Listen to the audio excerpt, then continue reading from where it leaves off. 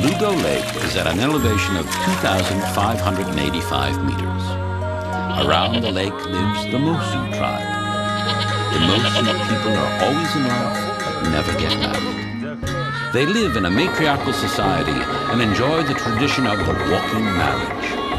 Once a young man or woman is affirmed as grown up through a special ritual, they are free to have so-called axia relationships.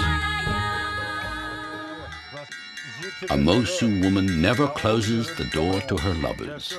Sexual relationships take place with visiting men in the bedrooms of the women, known as flower rooms. The next morning, the man returns to his mother's house. Lovers never get married to form a family, even though they may love each other their entire lives and have many children. Children live with their mothers for their entire lives. There are no patriarchal family members, only matriarchal ones, such as maternal grandmothers, mothers, and mother's sisters.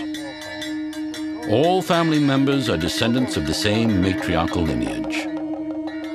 Scholars have come to the conclusion that the enchanting Mosuo matriarchal culture has, to a certain extent, solved major problems troubling today's modern society, such as the social positions of both sexes, sexual harassment, deterioration of relationships, family feuds, the maltreatment and loneliness suffered by old people, and last but not least, the harmony between mankind and nature.